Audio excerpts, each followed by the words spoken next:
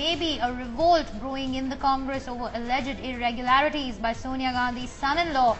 Robert Vadra, Congress MP from Gurgaon, Rao Inderjit Singh has sought a detailed inquiry against Vadra and his alleged shady deals. The demand comes after whistleblower IS officer Ashok Khemka indicted Vadra over fake deals.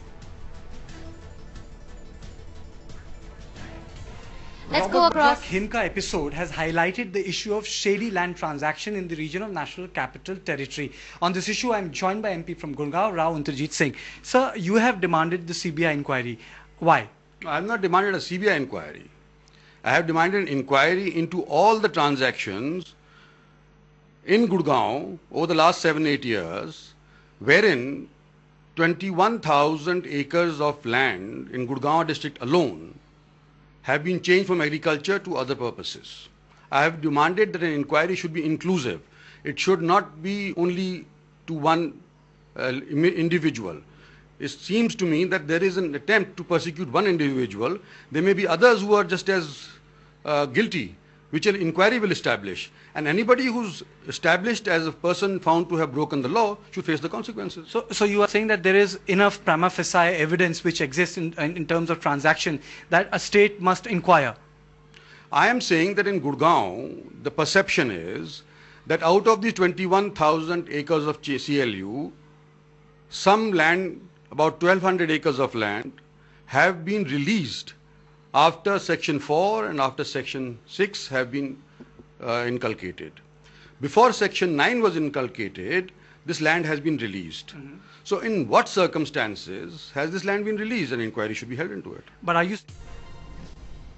Right, uh, that was Kartikeya, political editor, uh, speaking with uh, Rao Inderjit Singh. And uh, let me go across now to BJP spokesperson, Mr. Siddharthnath Singh. Singh, uh, uh, sir, clearly, you know, this is this is almost like opening a can of worms and done by someone who is from the party itself. The, a Congress MP has alleged that that there should be a detailed inquiry into the land deals that that that took place including of Vadra's in, in Gurgaon district? Sure. Well, uh, you cannot take uh, the interview or the comments of Rao Birendra Singh, who is an important MP of Congress and a Congress leader, uh, very lightly.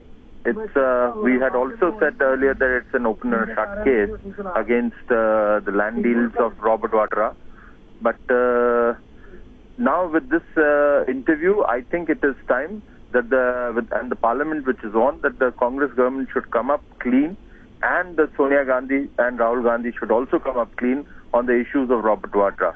So a serious inquiry, certainly an independent inquiry which should be transparent, should be conducted immediately. Right. Uh, but do you think that the Congress party can ignore these allegations that have been made by uh, Rao Inderjit Singh? Because uh, all this while, we have seen that the government has been fairly defensive about all allegations against Vadra. Do you think they will be able to employ the same strategy this time around?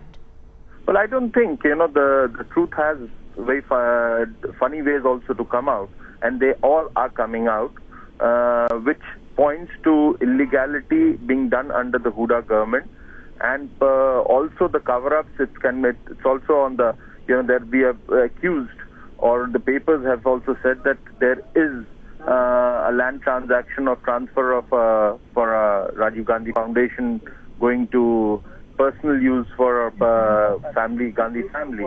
There are all host of things. So all that will be uh, brought in front and uh, under investigation.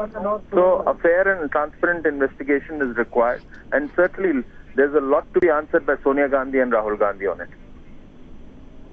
Right, uh, Mr. Singh, many thanks for joining us uh, with that perspective. Let me go across to Kartike. Kartike, you spoke with uh, Mr. Rao Inderjit Singh and uh, clearly, I mean, he's saying a lot in that interview.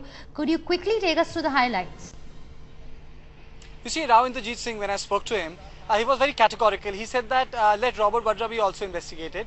But the most important of, uh, or the takeaway of the uh, interview is, it was a direct assault on the Chief Minister Bhupinder Singh Hooda. He said Bhupinder Singh Hooda is not above doubt. He said that is why I, found a uh, I have founded Justice Party. He said his, trans- his administration is opaque, which means it's not transparent. Then he also charged uh, Bhupinder Singh Hooda for not uh, running a clean, uh, neat uh, administration. And he said that th- this is the reason why because there is doubt in the mind of public that this has to be investigated.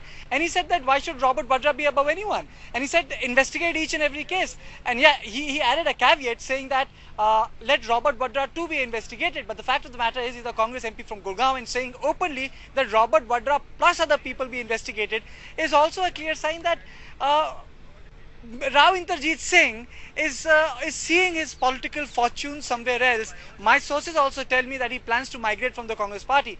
But the fact that a Congress sitting Congress MP is, is planning to do that tells us two things. One, the house is not in order. Secondly, perhaps MPs are sensing that the winds are blowing some other way.